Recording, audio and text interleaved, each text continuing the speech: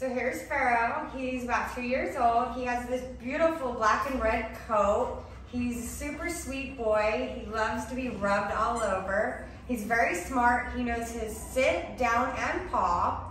He met a small dog with no issues. He met kitties and didn't care about them. So if you're looking for this very beautiful, loving, sweet boy, come meet Pharaoh. Here he is. And what are his favorite things to eat? He loves to share pizza with you. so be prepared.